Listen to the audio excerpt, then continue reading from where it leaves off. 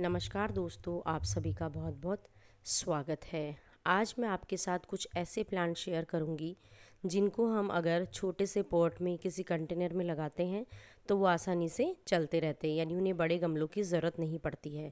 तो उसके लिए सबसे पहले नंबर पर है स्पाइडर प्लांट स्पाइडर प्लांट को हम चाहे छोटे से छोटे बॉक्स में, डिब्बे में या किसी बॉटल वगैरह में लगाते हैं तो वो आसानी से ग्रो करता रहता है।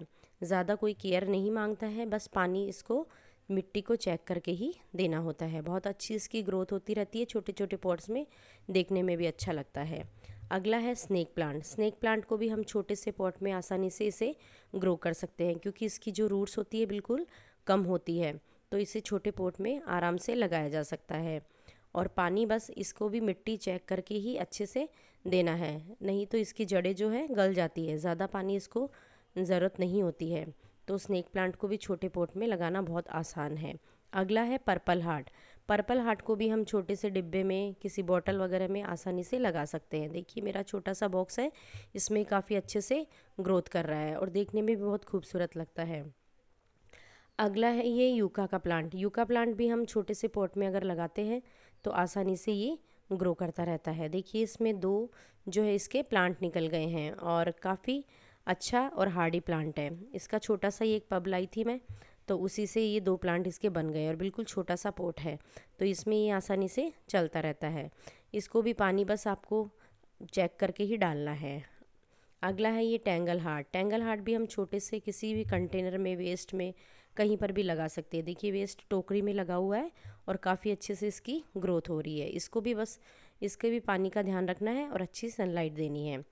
अगला है ये एस्पेरेगस का प्लांट। एस्पेरेगस प्लांट भी आप छोटे पोट में, बड़े पोट में कहीं पर भी ग्रो कर सकते हैं। बहुत अच्छी इसकी ग्रोथ होती है। बड़े पोट में लगाते हैं तो ये काफ़ी बड़ा बन जाता है, छोटे में लगाते हैं तो फिर ये छोटे रूप में रहता है। लेकिन काफ़ी अच्छे से ये ग्रो होता रहता है।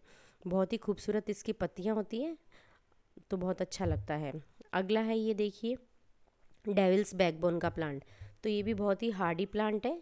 छोटी सी कटिंग भी अगर आप इसकी लगाते हैं तो आसानी से लग जाती है। और ये तीन से चार इंच के पोट में मैंने इन्हें लगाया हुआ है। काफ़ी हेल्दी और अच्छा प्लांट ये हो रहा है। इससे भी छोटे अगर गमले में से हम ग्रो करते हैं तो भी ये आसानी से चलता रहता है। अगला है मनी प्लांट। मनी प्लांट को भी छोटे छोटे बॉक्स में, बॉटल्स में, कहीं पर भी वेस्ट में आराम से हम ग्रो कर सकते हैं। ये भी आसानी से चलने वाला प्लांट है। एक पत्ती से भी इसे आसानी से लगाया जा सकता है। बस इसको भी हमें अच्छी जो लाइट आती है, वहाँ रखेंगे तो इसकी ग्रोथ काफ़ी अच्छी होगी। और पानी बस मिट्टी को चेक करके ही देना है। तो मनी प्लांट की ग्रोथ भी काफ़ी अच्छी होती रहती है। अगला है ये वॉन्ड्रिंग जू वॉन्ड्रिंग जू भी है। हम बिल्कुल छोटे से पॉट में आसानी से इसे ग्रो कर सकते हैं। एक पत्ती से ही ये ग्रो हो जाता है और देखने में भी बहुत खूबसूरत लगता है और देखिए छोटी सी बॉटल है, इसी में मैंने इसे लगाया हुआ है। एक तरफ़ ये टेंगल हार्ट है और दूसरी तरफ़ ये वेंटिंग जू तो इस तरह से हम दो प्लांट को मिक्स करके भी एक पोट में भी लगा सकते हैं तो देखने में खूबसूरत लगता है। नहीं तो इसकी छोटी सी कटिंग भी हम किसी छोटे कंटेनर में लगाते हैं तो वो आसानी से ग्रो होती रहती है। अगला है जेड प्लांट जेड प्लांट को लगाना भी बहुत आसान है।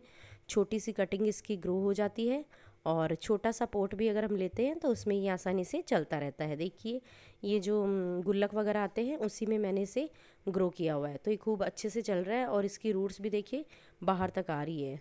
तो काफ़ी अच्छा ये प्लांट है, बस इसको भी अच्छी सनलाइट और पानी कम देना है तो ये अच्छी ग्रोथ करता रहेगा। छोटे छोटे इस तरह के कुल्हड़ वगैरह में हम आराम से इसे लगा सकते हैं। इसमें तो मैंने छेद भी नहीं बनाया हुआ है, फिर भी ये अच्छे से ग्रोथ कर रहा है। बस पानी का इसमें ज़्यादा ध्यान रखना है कि पानी बिल्कुल मिट्टी को चेक करके ही देना है। अगला है ये सदाबहार का प्लांट। सदाबहार प्लांट को भी हम छोटे से पॉट में आराम से लगा सकते हैं। देखिए ये चार से पाँच इंच का पॉट ही होगा। इसमें ये अच्छे से ग्रोथ कर रहा है और फ्लावरिंग भी इसमें काफ़ी अच्छी होती है और देखने में भी खूबसूरत लगता है। छोटे पॉट में अगर हम लगाते हैं तो ये आसानी से ग्रो करता रहता है। तो बहुत ही अच्छा और ये हार्डी प्लांट है। इसको भी बस पानी चेक करके देना है और अच्छी धूप में रखना है तो इसमें फ्लावरिंग काफ़ी अच्छी होती है। अगला है ये मैक, अजवाइन का प्लांट, यानी कि ऑर्नामेंटल अजवाइन। इसको भी छोटे से पॉट में लगाना बहुत आसान है, ज़्यादा इसकी केयर नहीं करनी पड़ती है। अगर एक से दो घंटे की धूप भी आती है तो हम इसे आसानी से ग्रो कर सकते हैं। बस इसको भी पानी चेक करके देना है।